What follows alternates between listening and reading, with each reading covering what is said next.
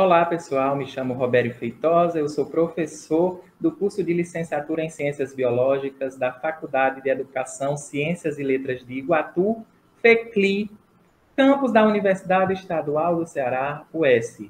Sou mestrando em Ensino de Ciências e Matemática pela Universidade Federal do Ceará.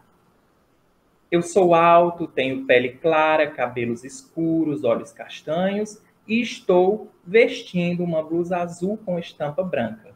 O título do meu trabalho é Ensino Híbrido em Foco, a sala de aula invertida como estratégia didático-metodológica no ensino de citologia. É sabido que o ensino de biologia inclui desafios recorrentes para os professores, dos quais podemos destacar a não assimilação dos conteúdos por parte dos estudantes, o não entendimento dos termos por serem muito específicos, uma linguagem bastante técnica, e a falta de compreensão na maneira como o livro didático apresenta os conteúdos e de como o professor faz a abordagem em sala de aula. Crasio Chic menciona que a biologia pode se, pode se tornar interessante ou não para os alunos, a depender de como o professor faz essa abordagem em sala de aula. Dessa forma, podemos mencionar ainda que, na grande maioria das vezes, o ensino de biologia acontece de forma expositiva e mecânica, Dessa forma, é preciso articular atividades expositivas, discursivas e dinâmico-ativas, além de incluir o uso da tecnologia como recurso articulado a outras estratégias e metodologias de ensino. Assim, o ensino híbrido ou blended learning, ele surge como uma grande possibilidade, possibilitando inclusive que as aulas e a aprendizagem aconteçam dentro e fora do contexto da sala de aula, no ensino presencial e no ensino online. Esse ensino híbrido ele diversifica-se em alguns modelos. Para este trabalho, falaremos da sala de aula invertida, ou flipped classroom, que, assim como o próprio nome sugere, inverte as posições. O que acontecia em casa agora acontece na escola, e o que acontecia na escola acontece em casa transformando as maneiras de aquisição do conhecimento e possibilitando organizar o tempo e o espaço. O objetivo desse trabalho foi analisar a percepção de estudantes do primeiro ano do ensino médio de uma escola localizada no interior do Ceará sobre a utilização da sala de aula invertida nas aulas de biologia e no ensino de citologia. É sabido que o acesso às informações possibilitou muitas descobertas ao longo do tempo, a utilização das tecnologias precisa ser considerada como um recurso fundamental para a prática docente, principalmente considerando essa utilização nos processos de ensino e aprendizagem.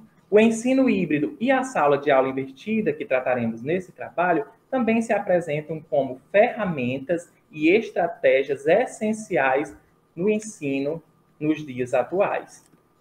A pesquisa Trata-se de uma abordagem qualitativa e exploratória. Teve como locus uma escola pública estadual, localizada em Jucás, no interior do Ceará, e como sujeitos, alunos do primeiro ano do ensino médio. Para a coleta de dados, foi utilizado um questionário semi-estruturado com 10 perguntas, mas para este trabalho, apenas duas dessas 10 perguntas foram consideradas. A pesquisa está embasada na resolução número 510 de 2016 do Conselho Nacional de Saúde e vale ressaltar que ela só aconteceu mediante autorização do diretor da instituição. Como resultados, trazendo as duas perguntas que foram escolhidas, escolhidas, perdão, mencionamos as falas dos sujeitos. Então, quando foi perguntado qual a sua percepção Sobre a sala de aula invertida no ensino de biologia, especificamente no estudo de citologia, os discentes responderam: Eu gostei muito de estudar o conteúdo antecipadamente e depois ajudar o professor com a explicação em sala de aula. Essa prática estimula a leitura e faz com que a gente entenda melhor o que está sendo estudado. Essa fala desse estudante, justamente, juntamente com essa outra fala aí do, do outro aluno, possibilita entender que eles reconheceram a sala de aula invertida como um recurso importante de ser implementado nas aulas de biologia. E essas respostas vão ao encontro do que menciona Basic, Tanzineto e Trevisani, destacando que a sala de aula invertida ela propõe a antecipação do estudo teórico dos conteúdos para articulação em sala de aula presencial. Quando questionado sobre como destacavam é, os pontos positivos e negativos da proposta e da execução dela no ensino da biologia, os alunos responderam. Um deles destacou: Eu destaco somente benefícios. A autonomia que o professor falou que teríamos, a responsabilidade, o engajamento e a vontade de participar dos momentos e dos debates foram muito bons para a aprendizagem. Não foi nada difícil de ser utilizado.